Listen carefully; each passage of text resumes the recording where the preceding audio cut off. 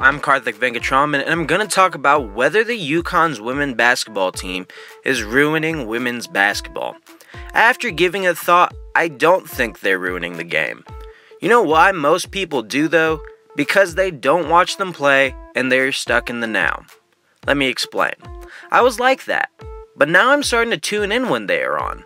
I'm curious to how many people in America have watched one of their games, even a minute there is zero investment. They play the game the way it is supposed to be played lockdown defense and beautiful ball movement. They rarely foul, they're clean games. Isn't that what we all complain for in basketball all the time? Most of you aren't complaining about the Warriors winning almost every game now. You say, wow, Steph Curry's unbelievable, or look at how well that team plays. Wanna know why? You watched how well orchestrated and beautifully they are playing. You're just seeing the scores for women's basketball.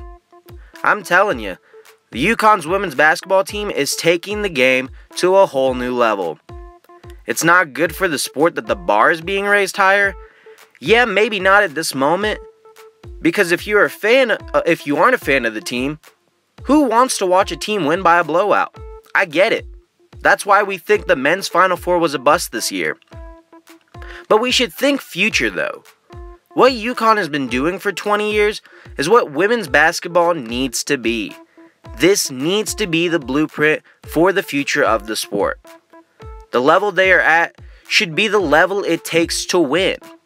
But for now, enjoy a really good basketball team playing the game the right way. Hopefully, sometime soon, the other teams can catch on to the blueprint of success.